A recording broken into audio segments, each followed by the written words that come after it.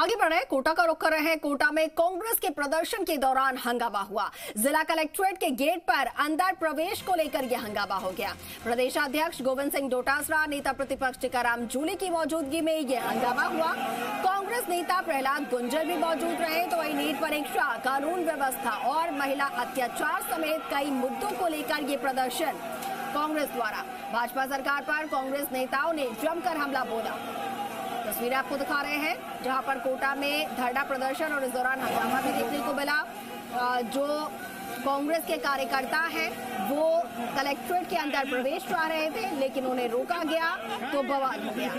अब पानी की बौछार भी यहाँ पर की गई है, लेकिन फिर भी जो कांग्रेस के कार्यकर्ता है, वो वहाँ पर डटे रहे बड़ी संख्या में। पुलिस मौके पर मौजूद और जी राजस्थान की टीवी स्क्रीन पर ये एक्सक्लूसिव तस्वीर आपको दिखा रहे हैं। कोटा से ये तस्वीरें सामने आई है, जहाँ पर कांग्रेस का हल्ला बोल प्रदर्शन हंगामा देखने को मिल रहा है। तमाम ऐसे मुद्दे जिसको लेकर कांग्रेस सरकार को घेरने के लिए पूरे तरीके से यहाँ पर कोशिश कर रही है। अब इसमें आपको बता दें, प्रदेशाध्यक्ष कांग्रेस के गोविंद सिंह डोटासरा, नेता प्रतिपक्ष टीकाराम जूली, उनकी अध्यक्षता में ये पूरा प्रदर्शन किया गया। इसके अलावा कोटा से कांग्रेस के नेता प्रहलाद गुंजल भी इस दौरान मौजूद। नीट परीक्षा, जो कि इस वक्त पूरे देश में सबसे बड़ा मुद्दा बना हुआ है इसके अलावा कानून व्यवस्था महिला अत्याचार तमाम मुद्दों को लेकर कांग्रेस घेर हुई। और हमारे सहयोगी के के शर्मा हमारे साथ फ़ोन पे जुड़े के के आ, हम तस्वीरों में देख पा रहे हैं बड़ी संख्या में कांग्रेस के जो कार्यकर्ता है पदाधिकारी एकत्रित हुए हैं। फ़िलहाल मौजूदा क्या वहाँ से जानकारी आपसे जानना चाहेंगे क्या स्थिति? देखिए बड़ा आंदोलन आज कांग्रेस की तरफ़ से किया गया था। कई सारे मुद्दों को लेकर के पूरी जो कांग्रेस है, वो एकजुट होकर के और प्रदर्शन करने के लिए कोटा के जिला कलेक्ट्रेट पर पहुँची थी, जहाँ पर तमाम सीनियर लीडर्स कांग्रेस के बात की अशोक चांदा जो इंडोर से एमएलए प्रहलाद गुंजल, गोविंद डोटासरा साथ ही टीकाराम जुली नेता प्रतिपक्ष तमाम सीनियर लीडर्स की मौजूदगी में ये हंगामा प्रदर्शन चल रहा था और इसी दौरान जब कार्यकर्ता आक्रोशित होने लगे और जिला कलेक्ट्रेट में कलेक्ट्रेट के अंदर घुसने की कोशिश उन्होंने की तो उसी दौरान वाटर कैनन के ज़रिए पुलिस ने सबको खदेड़ा। पानी की तेज बौछारों को से इनके ऊपर बर्ताव किया गया ताकि इनको वहाँ से इनको दूर खदेड़ा जा सके।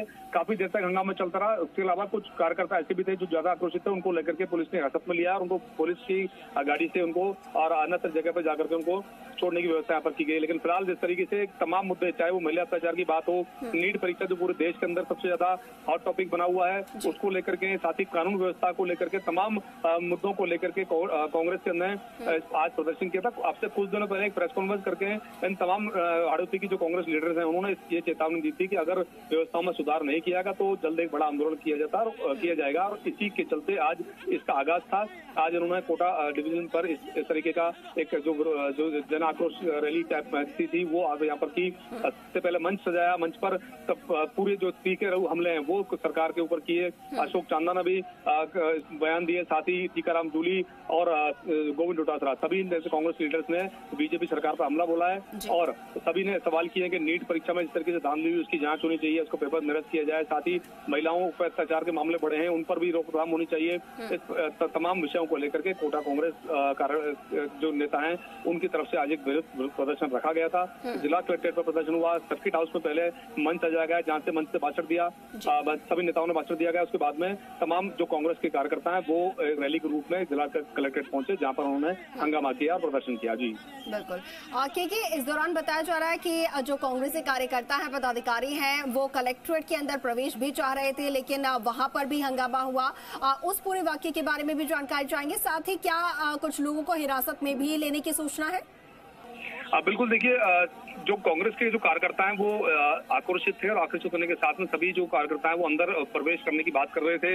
मौके पर भारी सुरक्षा व्यवस्था तैनात की गई थी। भारी सुरक्षा पुलिस बल जो है मौके पर तैनात था और कुछ लोगों को अंदर जाने की इजाज़त थी लेकिन बहुत सारे जो कार्यकर्ता है वो अंदर जबरन घुसने की, की वहाँ पर बात की जा रही थी। बैरिकेड्स को तोड़ने की वहाँ पर कोशिश की जा रही थी। इस दौरान काफ़ी हंगामा हुआ। पुलिस ने सभी जो कार्यकर्ता उनको शांत करवाया और वाटर कैनन गन के ज़रिए सबके ऊपर पानी की जो तेज बौछार थी वो वहाँ पर फेंकी गई ताकि जो कार्यकर्ता वो वहाँ से दूर चले जाए।